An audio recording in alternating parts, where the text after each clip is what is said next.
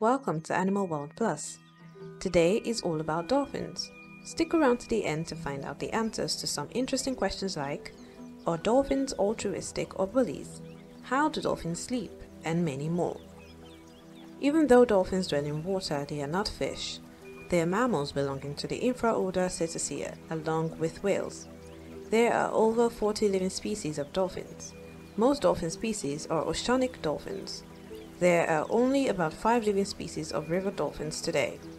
But one might ask, what makes a dolphin a mammal? Dolphins are mammals because they are warm-blooded. They do not have gills, but have lungs. They also do not lay eggs, but give birth to live young and feed their young milk. Mammals have fur, or hair, at some stage in their life. Baby dolphins have whiskers around their snouts in the womb and lose them shortly after birth. Because dolphins have lungs, they need to constantly return to the water surface to breathe in air through their blowhole, which is located at the back of their head. But how can they survive so long inside the water without drowning? Once dolphins get inside the water, they shut their blowholes tight and they can store oxygen in their body tissues. Also, to conserve oxygen, some can reduce their heart rate.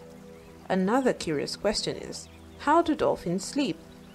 Well, since dolphins need to get onto the water surface to breathe, and must do so consciously, they cannot go into a long state of unconscious sleep like humans.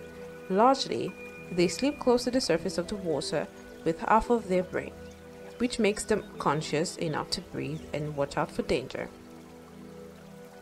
The size of a dolphin varies per species, from 1.2 meters to 9.5 meters in the orca.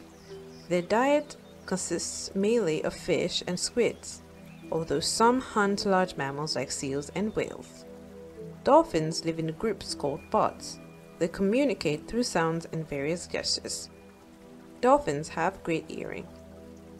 They can use echolocation to determine the location, shape, and size of an object or animal. Dolphins do this by sending out sound waves.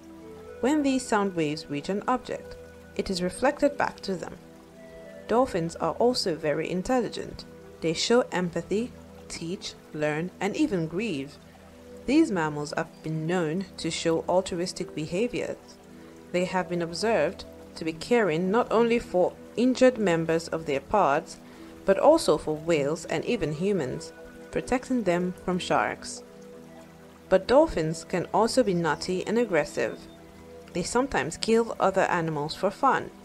An infanticide had been observed in bottlenose dolphins.